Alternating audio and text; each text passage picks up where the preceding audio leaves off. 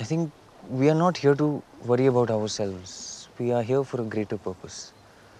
In the Quran, it says, we are here for the good of others. The Quran?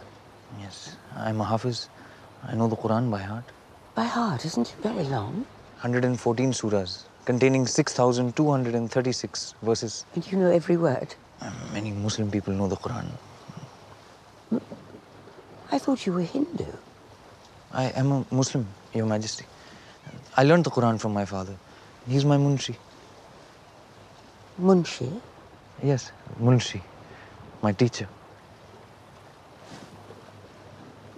Well, we would like you to be the Queen's Munshi.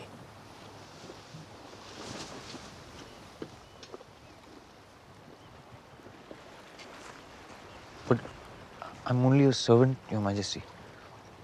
A servant cannot be a Munshi. Well, you are a servant no longer. You are my teacher. You will teach me Urdu and the Quran and anything else you can think of.